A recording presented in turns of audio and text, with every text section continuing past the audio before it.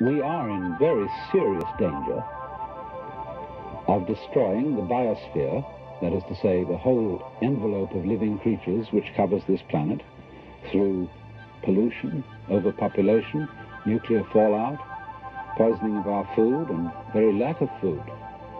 The human race has to learn how to leave the world alone and let what is called the natural homeostasis, that is, the self-balancing process of nature, take care of the mess.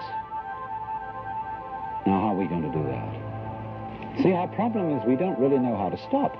We've got something started and we see it's going in the wrong direction. And I think the difficulty is, to borrow an old Chinese saying, that when the wrong man uses the right means, the right means work in the wrong way.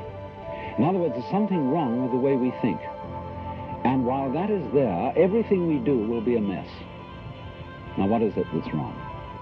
The basic mistake is that we've invented this wonderful system of language and calculation, and that it is at once too simple to deal with the complexity of the world, and also we are liable to confuse that system of symbols with the world itself, just as we confuse, say, money with wealth. A lot of people are in business to make money instead of wealth. When they make the money, they don't know what to do with it. And so in the same way, we confuse happiness with status, and we confuse ourselves as living organisms which are one with this whole universe with something we call our personality. Now what is our personality? Our personality is what we call our image, our image of ourselves, and also our thought about ourselves, our idea of ourselves. This is the person. In other words, what people meet and understand, and what I understand as Alan Watts, is a big act which is not really me. Because in the image of Alan Watts, there are not all my unconscious processes, both psychological and physical. The construction of my brain is not contained in the concept Alan Watts, and the concept Alan Watts does not contain the inseparable relationships which I have with all the rest of the universe. And therefore that concept is a fraud. And when it's mistaken for the real me, there's a confusion. Because if somebody says to me, Alan Watts, do something about it, the concept Alan Watts can't do anything. In other words, because it's only a concept, you can't make it lift a weight, just as three is a concept. Three, the number. You can't make just plain three do anything. So also you can't wrap up parcels with the equator. It's a useful imaginary line, but it can't do anything. But we all feel that this concept of ourselves, which we call our personality or our ego, can do something. Because we think it really exists, and I'll tell you why we think it exists. What happens when you, if I were to say to you, now look hard at the television screen, really look at it. What do you do as distinct from just watching it in the ordinary way when you say, now I really got to see that? What do you do? Notice that you tighten muscles all around here, that you frown a little. You clench your teeth, perhaps. Now, what has that got to do with seeing anything clearly? It has absolutely nothing to do with it. Same thing when you listen carefully. Now, listen. Catch everything that's said, or you start tightening up around your ears. That has nothing to do with hearing clearly.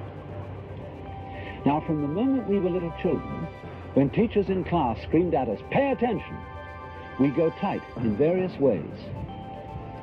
Either to see or hear more clearly, to concentrate, or to will something which is supposed to be difficult to do.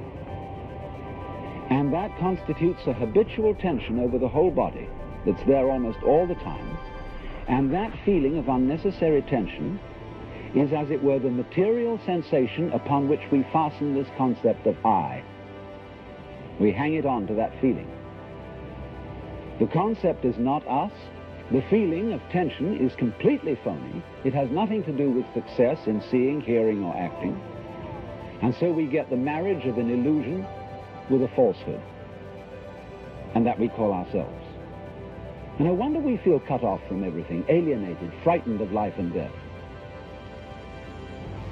So what has to happen is we have to come back to a sane view of our own life, which is the way we really are, an organism functioning in terms of the whole environment, with the whole environment, instead of this funny little separate personality.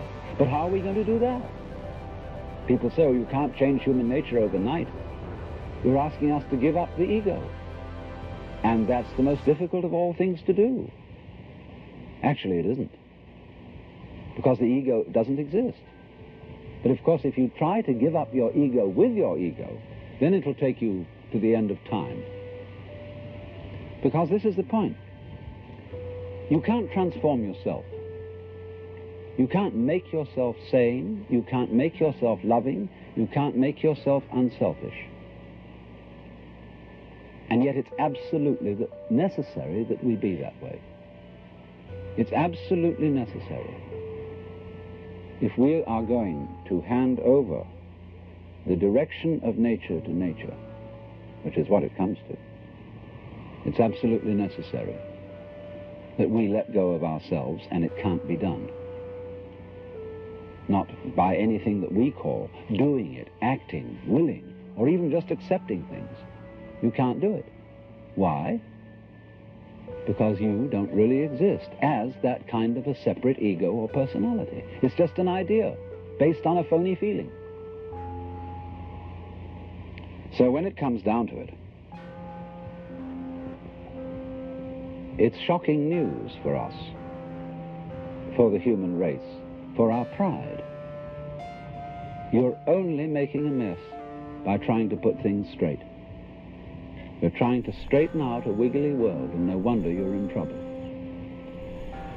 So you can't do anything. So you can't transform yourself. And what can you do? What happens then if you actually realize you've come to a dead end? And the human race has come to a dead end, in my opinion. What happens when you just wait? There's nothing you can do. You watch. And all you see is what goes on that is happening of itself. You're breathing, the wind is blowing, the trees are waving, your blood is circulating, your nerves are tingling. It's all going on of itself. But do you know that's you. That's the real you. The you that goes on of itself. It's not the symbol. It's not the person. It's you that's happening, as when you breathe. Yes, you can get the feeling that I am breathing by shoving your breath, but your breath goes on day in and day out without your doing anything about it or even thinking of it. The same way your brain is functioning without your forcing it. So when you come to a dead end, this is the moment of which it is said man's extremity is God's opportunity, because we have to stop. And when we stop, we find a world that is happening rather than being done, being shoved. And that happening, as distinct from doing, is our fundamental self. And our fundamental self is not something just inside the skin. It's everything around us with which we connect. When you look out of your eyes at nature happening out there, you're looking at you. I'm not going to say what we should do from then on, but simply that before we think of doing anything in this critical situation,